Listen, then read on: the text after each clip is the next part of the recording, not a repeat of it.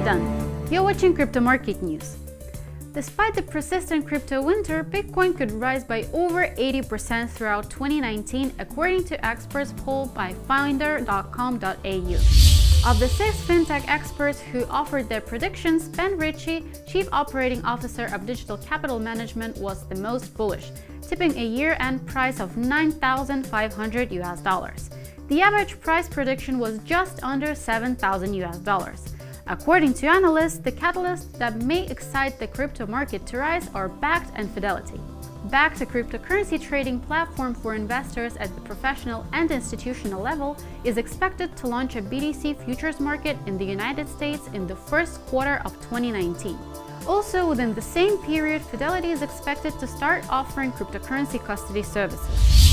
We're about to talk on this issue to Tone Vays, trader, consultant, and Bitcoin enthusiast who has worked on Wall Street for almost 10 years. Hi, Tone. Hi, Maria. Bitcoin has officially entered the longest bear market in its history, so what do you think? Has BTC already reached the bottom? Uh, I, I, do not believe we reached bottom. I do think that the price of Bitcoin and every single altcoin will go lower.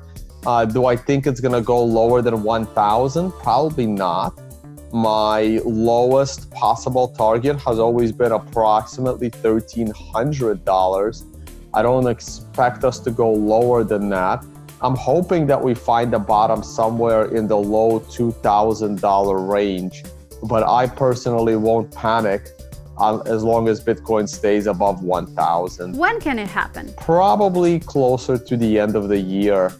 I just think that there are still way too many people that believe in these useless altcoins. And every time I see the price of Bitcoin going up, uh, but the price of altcoins going up bit more and faster, it tells me that people have not learned their lesson and that the prices need to drop significantly more. We see that you're still pretty skeptical on altcoins. But is there at least one altcoin you believe in? No, there isn't a single altcoin that I believe in. Is it possible that one or two altcoins are going to be economically viable and useful to the world in five years? I mean, I mm-hmm. guess it's possible, but I have no idea which one it's going to be. The only time I ever even hold an altcoin is because someone happens to like give it to me or try to pay me in it, and then I try to get rid of it as fast as I can. I treat altcoins like the Venezuelan currency. Uh, the moment you get it, you you it's like a hot potato. Just get rid of it as soon as possible and convert it to something valuable. Even if some of them are successful, you will not recommend anybody to use them, right? Yeah, absolutely not. Uh, no one really is really using them. They don't really have a purpose. Uh, to me, every altcoin is just like a person printing their own money, trying to convince others to use their money. What is your stance on stablecoins? Uh, to me, stablecoins they're they're not innovative at all. Uh, there's no innovation.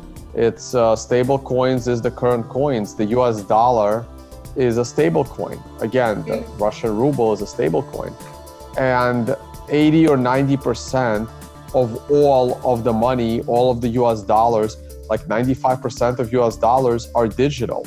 They're not mm-hmm. in physical paper form. And that's exactly what a stable coin is. Sta- it's just being transferred on a different database. I mean, it's just numbers. Coming back to Bitcoin, is the current decline far different from the decline in 2014 and 2015? I think the fall is very, very similar. I think the environments are also pretty similar.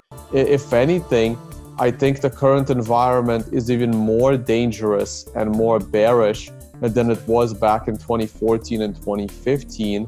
Uh, of course, Bitcoin is a lot more stable, Bitcoin is a lot stronger. Uh, from the code perspective, it's a lot more secure. All of that is great. But the problem, my biggest problem in 2018 compared to 2014, in 2014, the community was very united the community was like 90 95% bitcoiners and everyone was on the same page. Everyone was cooperating. Everyone was trying to explain to people what bitcoin is and why you should use it and merchants were starting to accept bitcoin. And now in 2018 uh, very few people believe in bitcoin and everyone just wants to sell you their scam. And what do you think Bitcoin ETF will bring? And I think it's nice that people will be able to trade Bitcoin legally around the world in a stable and secure way. Mm-hmm. But a large amount of Bitcoin sitting, you know, in some cold storage mm-hmm. creates a major risk factor. It's a large pool of Bitcoin that is at risk of being hacked, it's at risk of being lost, and it's mm-hmm. at risk of government confiscation. Okay, Tone, thank you for your time. You've been watching Crypto Market News and we have just talked to Tone Vays, trader, consultant, and Bitcoin enthusiast. Subscribe to our channel and don't forget to click the bell not to miss the most important news and trends of crypto. I'm Sophia Dunn, goodbye.